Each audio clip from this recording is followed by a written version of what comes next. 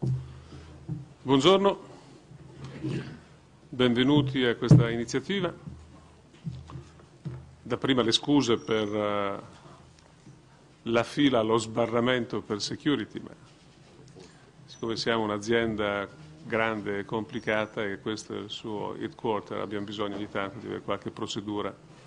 per evitare di trovarci negli uffici delle persone indesiderate. Voi siete molto desiderati perché rappresentate eh, la sensibilità verso eh, il disagio, cosa rara in un mondo in cui si guarda semplicemente alla sensibilità, al piacere. E sensibilità al disagio in un luogo particolarissimo come le stazioni, mi riferisco a questo anche se so che il vostro lavoro si rivolgerà anche alla forma urbana. E nelle stazioni dove mh, si hanno gli ultimi rifugi per le, quelle che eh, normalmente sono considerate le ultime persone della società, gli emarginati, i quasi senza speranza. E il fatto che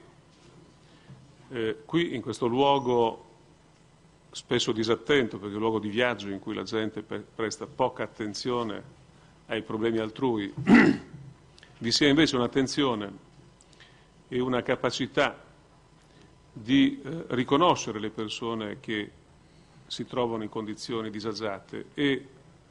il fatto di dover tendere loro una mano per dare una speranza, per dare loro la possibilità di ripresa, credo sia un fatto eh, di grandissimo valore sociale eh, che noi come gruppo abbiamo voluto sostenere, eh, ormai è diventata una specie di tradizione, e che eh, intendiamo sostenere ancora per il futuro in maniera ancora più possente. Sono molto contento che questa iniziativa poi abbia avuto eh, in altri paesi analoghe esperienze che si stanno eh, sperimentando e saluto gli ospiti che arrivano dagli altri paesi di cui ringra- e li ringrazio di essere qui per poter condividere con noi le diverse esperienze, per poter proporre anche, questo ritengo un punto importante, alle istituzioni, ai vari livelli, i giusti messaggi e le giuste richieste. Spesso abbiamo eh, anche l'attenzione delle istituzioni, però altrettanto spesso questa attenzione è, eh, se non istantanea, di brevissimo periodo. Poi c'è eh, molto spesso il vuoto dell'attenzione e soprattutto il vuoto nel considerare, quando si fanno i bilanci, le risorse necessarie per affrontare i problemi che sono delle città e che vedono in noi dei supplenti, delle organizzazioni volontarie, anche se fatte di uomini e di donne aiutate dalle imprese, ma che non hanno naturalmente la stessa funzione che deve essere svolta dalle istituzioni. Dico sempre che nella mia città, io vengo da Rimini, molti anni fa, ed era una tradizione di tutte le città italiane, c'era una casa dei poveri dove la gente sapeva che poteva andare a dormire e trovava qualcosa da mangiare ed era una cosa che veniva sostenuta dal comune. Queste cose sono scomparse. Per carità, io sono molto contento che vi siano associazioni importanti che invece si stanno sostituendo a questa disattenzione istituzionale, ma questo non vuol dire dover togliere alle istituzioni l'obbligo di pensare a queste cose. Sarebbe straordinario il pensare che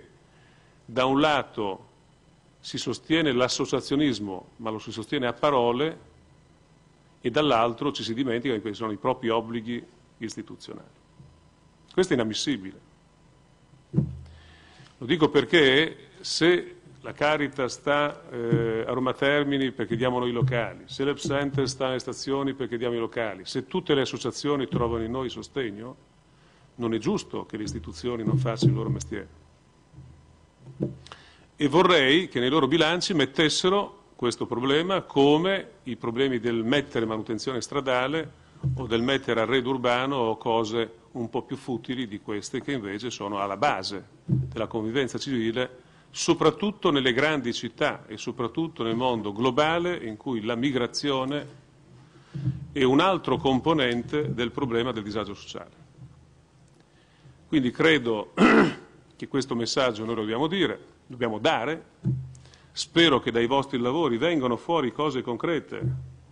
io vi invito a essere non indulgenti né con le aziende né con le istituzioni, ma di dire in maniera chiara cosa questi devono fare. Non basta venire a tagliare il nastro.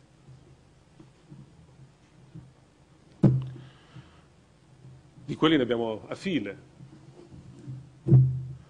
Ma se in città grandi non si riescono a tagliare 2 milioni per mettere a posto un centro, non capisco come vengono fatti i bilanci. Non lo capisco proprio, insomma non so, io faccio il sindaco di un piccolo paese, eh, il primo problema che poniamo dentro la formazione dei bilanci, che è proprio di questo periodo, è quello di capire quelli che hanno zero reddito o sotto gli 8 mila eh, euro di reddito pro capite, come fanno a vivere e quindi come facciamo a sgravarli della tassa sui rifiuti, della tassa del, dell'acqua, eccetera, eccetera, e come eventualmente li, li, li sussidiamo. Se questa cosa è propria di un piccolo villaggio, sono 600 residenti, deve essere il fondamento dei bilanci degli altri, perché se non si riesce a trovare una soluzione e si dimenticano questi disagi, vuol dire che non si è in grado di produrre solidarietà in modo civile in una grande aggregazione che può vivere solo se pone a base della sua convivenza questi prima sentimenti che devono diventare regole per la conduzione della città e degli aggregati. Aggiungo eh, quello che sta avvenendo in Europa in questi giorni, nel Mediterraneo, in Europa, è l'esempio di cosa vuol dire anche eh, dover di volta in volta fronteggiare shock internazionali, nemmeno più locali o di paese, ma internazionali, che vengono a stratificarsi sui normali problemi che devono essere gestiti quotidianamente per le realtà. Anche questo è un problema che noi stiamo vedendo,